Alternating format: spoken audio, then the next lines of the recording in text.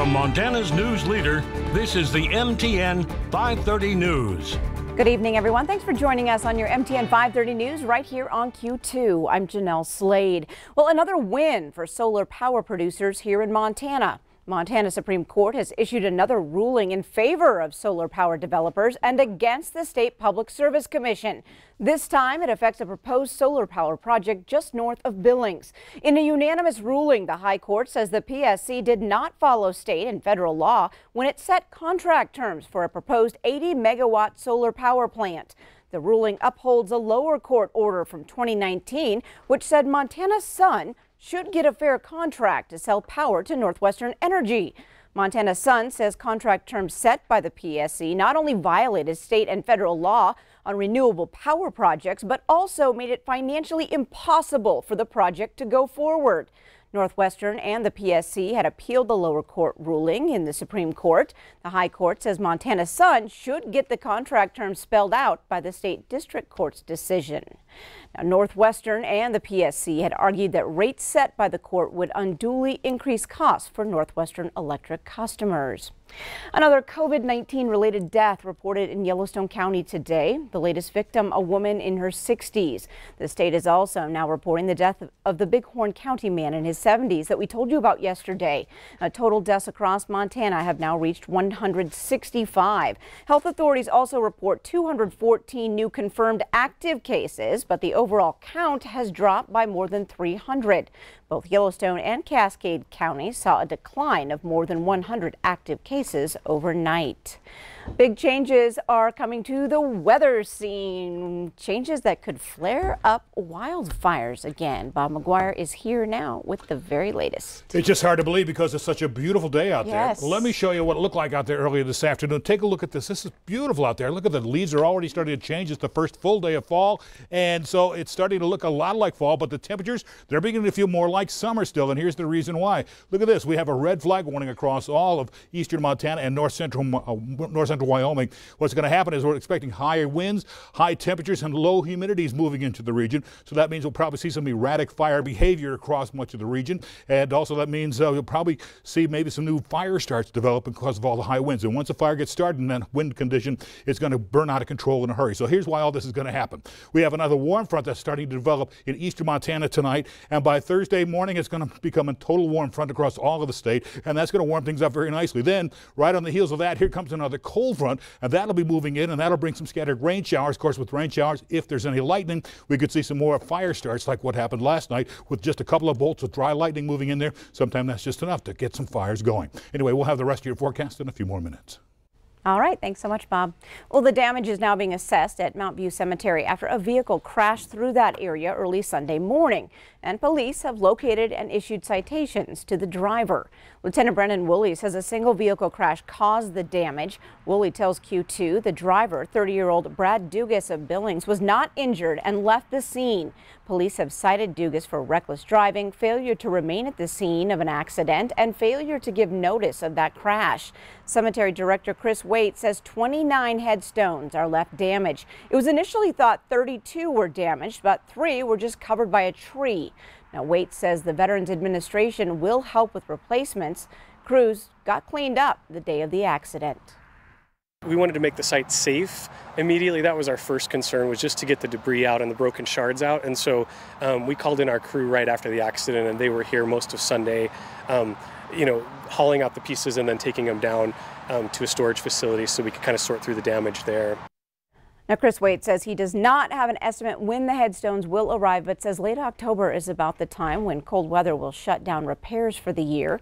Tonight, Q2's David J. will have more on this story at 10 o'clock. Well, if you're still undecided in the race for Montana's next governor, maybe their running mates will help you decide. The two candidates for lieutenant governor have strong connections and deep roots in Montana. Democrat Casey Schreiner grew up in Great Falls and graduated from Montana State University.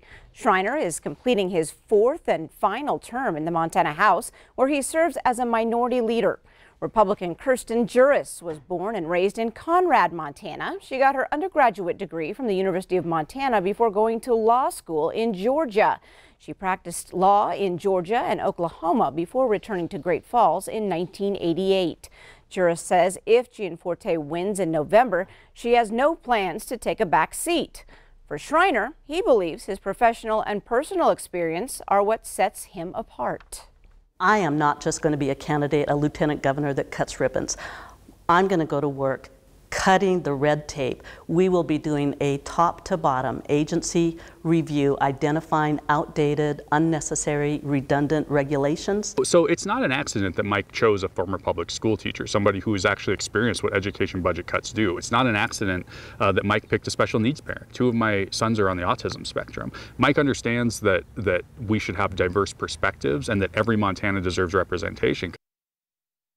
Now, Schreiner was a candidate for governor before dropping out in February. Juras ran unsuccessfully for Montana Supreme Court in 2016. It's well documented reading to children, even newborn babies, helps boost brain development.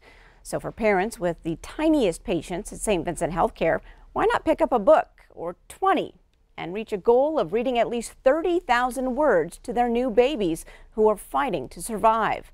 Here's Q2's Mitch Laggy with the story. Born just 27 days ago, Barrett and Declan Brown have spent their entire lives thus far in the neonatal intensive care unit at St. Vincent Healthcare. Thanks to the NICU Readathon, the twins already have a boost to their brains from the power of books. We know that evidence tells us that reading to your infant early and reading to your children early and often is super, super important. We really, our goal is hopefully that our preemie babies hear about 30,000 words before three. The Readathon at St. Vincent's is a part of a national effort to encourage parents of children in the NICU to read to their kids.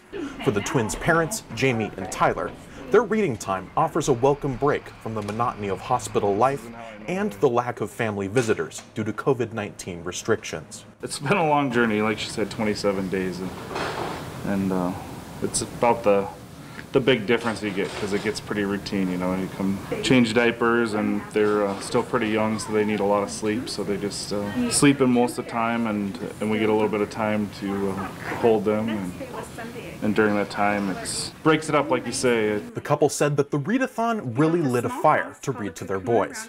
The go-to book for the family is The Very Hungry Caterpillar by Eric Carle, one of the many books on the shelf at St. V's. This is the first year St. V's has participated in the National Readathon. Staff say it's increased incentive for parents to read to their kids. Families have been so bought into it.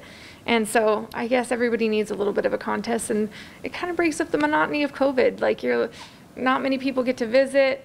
You feel kind of lonely. It's not what you've expected to have a baby in the NICU. So this is kind of a cool way for families in the NICU to feel like oh, something else besides obsessing about a sick baby or obsessing about nobody's able to come visit my baby. In Billings, Mitch Laggy, MTN News. Thanks so much, Mitch. Now, the twins are currently on feeding tubes, but have recently started eating on their own. So the doctor tells us that's a good sign. They may go, get to go home soon. Well, Montana wildfire flames destroyed fossilized memories for a 13 year old Montana boy. Up next, we dig into the details about how his cherished collection now continues.